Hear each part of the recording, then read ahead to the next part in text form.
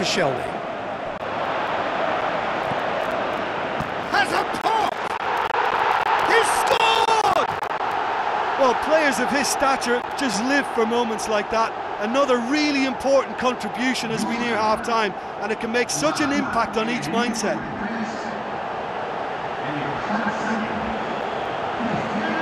He was urged to shoot, and he duly delivered. Cristiano Ronaldo is the obvious danger man here, and yet he was afforded way too much freedom. I think he was gifted that goal. His reputation. Oke, selamat datang di channel Adi Chandra Review. Di video kali ini aku bakal ngebulin salah satu permintaan dari salah satu viewer requestnya kayak gini. Suruh nyobain PES 2017 di Winlator update Winlator 10. Ya, sekarang sudah Winlator update versi 10 cuy. Nih, aku udah pasang ya, aku udah pasang dan juga install untuk versi Winlator yang ke-10 ini cuy. Nih, kalian bisa lihat di sini versinya sudah versi 10.0 hotfix ya ini udah di fix jadi kalian yang mau nyobain silahkan cobain aja cuy. Ya sangat sangat ringan. Ini ringan sih untuk aplikasinya tapi kalau untuk game-game yang mau dimainin nanti itu termasuk berat-berat. Jadi kalian sediain aja device yang uh, kuat lah ya di sini aja aku pakai Haiku 11 yang pakai Snapdragon 8 Gen 2 dan ini udah lancar banget di sini aku pakai settingan high untuk PES 2017-nya itu dapat di 60-an FPS. Tapi kalau aku turunin di medium atau di low, dia bisa dapat sampai 120 FPS. Ya, udah langsung aja kita ke Winlator ya cuy.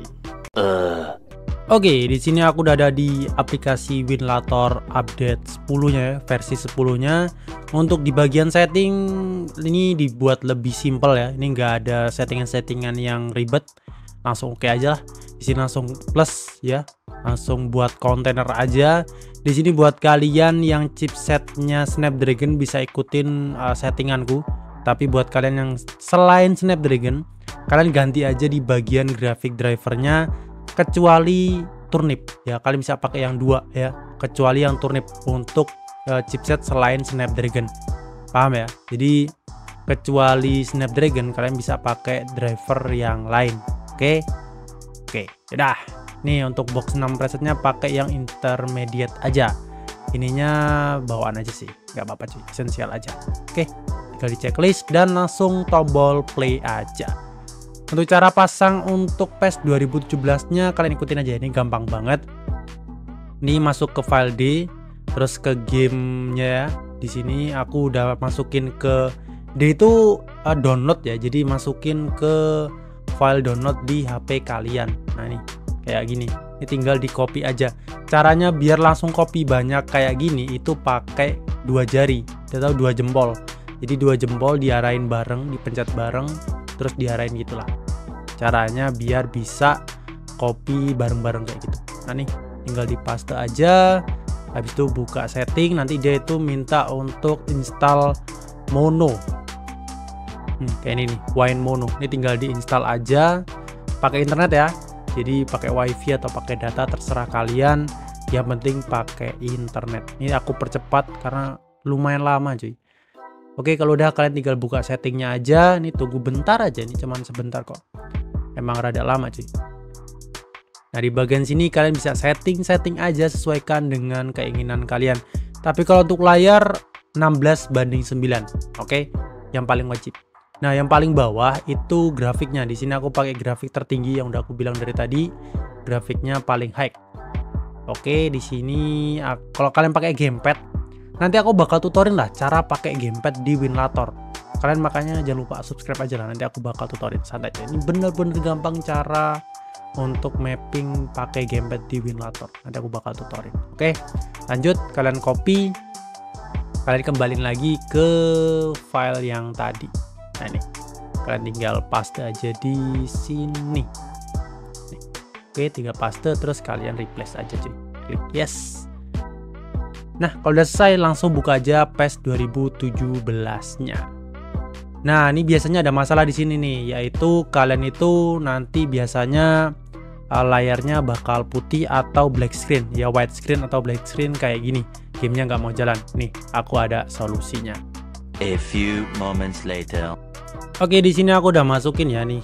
Uh, kalian buka aja nih. PES 2017 widescreen fix. Nah ini kalian tinggal copy aja semua file yang ini. Terus kalian pindahin ke file PES 2017 nya ini kalian tinggal tempel aja terus kalian klik ganti. Lakukan ke semua file dan ganti. Dah kayak gitu. Nanti terus kalian buka aja PES 2017 nya seperti biasa nanti akan normal.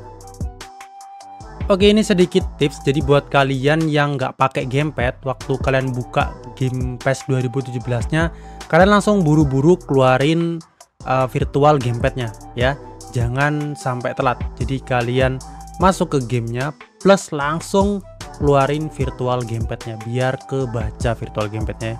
Ini buat kalian yang nggak pakai gamepad. Kalau kalian yang pakai gamepad ya nggak usah sih tapi ini tips yang sangat penting. Ini kayaknya bakal yang tahu cuman yang nonton videoku aja sih tutorial sampai habis sih. Yang pasti nanti bakal ada yang tanya di kolom komentar. Aku yakin 100% bang uh, virtual gamepad tuh nggak bisa dibuka bang. Nggak bisa dipakai bang. Pasti ada yang bacot kayak gini tapi ya setelah basing lah. Pasti dia nggak nonton videoku basing basing basing basing. Oke, okay, nggak perlu kebanyakan bacot, langsung aja aku bakal main play match biasa, terus exhibition match. Sebenarnya bisa sih main cup atau main league. Liga tapi aku yang main exhibition aja buat ngetes cuy nih kalian bisa setting dulu untuk personal datanya seperti biasa anak-anak rental yang sering anak-anak rental ya yang sering main PES 2017 patch 2025 pasti selalu uh, setting-setting dulu cuy. Ya settingannya terserah kalian sesuaikan aja lah. Untuk klub-klubnya di sini uh, ada klub-klub kayak main blue terus red apa ya? Main main uh, main red itu Manchester United ya ini klub-klubnya ada yang diganti-ganti namanya cuy. Nih MD White itu Real Madrid ya Real Madrid. Nah ini London FC terus apalagi itu Arsenal. Ini Arsenal logonya red kan oke ini uniformnya tuh. Bajunya uh, bukan bajunya Real Madrid anjir. Tapi pemainnya pemain Real Madrid. Tuh kayak ada Modric Ronaldo. Ini ke game plan-nya atau ke formasinya tuh. Kalian bisa lihat ya ini MD White. Ini Real Madrid pemainnya tuh bisa lihat. Marcelo, Ronaldo, Benzema, Bell, uh, Carvajal, PP, Ramos kan pemain Real Madrid tapi uh, namanya MD White. Oh nggak tahu kenapa kok namanya MD White ya. Oke ini untuk settingannya uh, untuk formasinya. Pokoknya familiar banget lah buat anak-anak uh, rental yang sering main PS oke ini untuk stadiumnya kalian bisa sesuaikan aja kalian pengen main di mana. Ya untuk gameplaynya sama aja sih kayak kayak kayak gini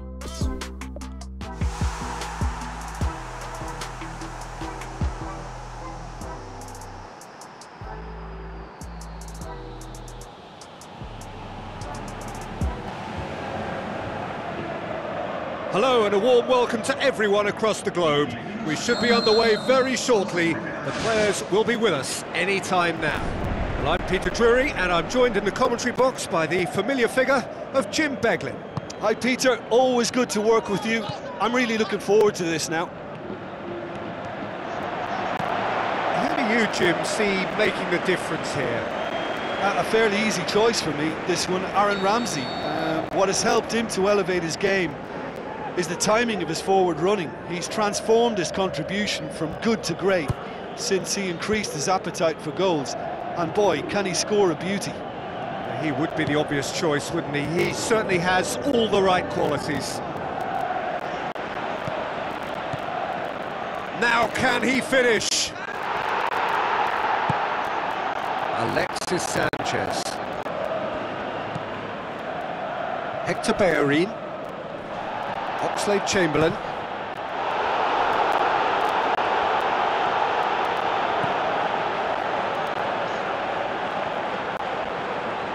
Ball's loose, who's getting there? Aimed long and direct. Spoon forward. Decent looking ball.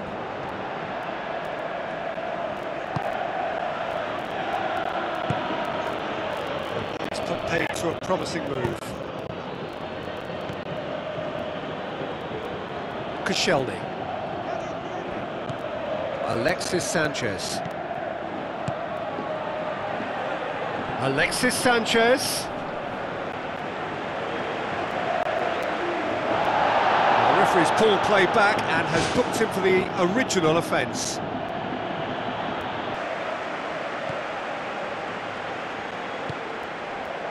Koscielny. Has a pop! He's scored! Well, players of his stature just live for moments like that. Another really important contribution as we near half-time, and it can make such an impact on each mindset.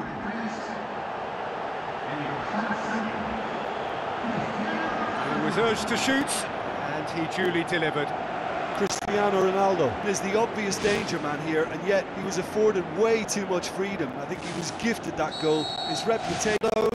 Is effectively being marked out of the game here. Yeah, and they finally reacted, but they could have been more switched on before he, he scored. And he's got the ball glued to his feet. Can he score? What about it? And that should do it! Within sight of the finish line. Oh, beautifully dispatched. There was no reaching that. Well, I think two keepers would have had a hard time keeping that one out, never mind one. There was real venom in the strike and, and clear composure from the placement.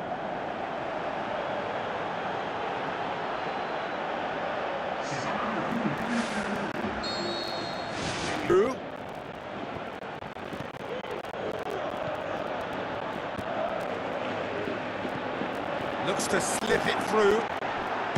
Shapes the shoots. And it's Marcelo. And it's Cazorla. Sergio Ramos with the foul. Oh, that's a booking. Always looked it. Well, sometimes a loose foul can trigger a completely different spell of play and uh, it makes even less sense. Welbeck shoots! Added time is up, and there goes the whistle. A decent win via a very competent performance. Without doubt, they were the better side, and the result reflects as much. So, Jim, how do you reflect on what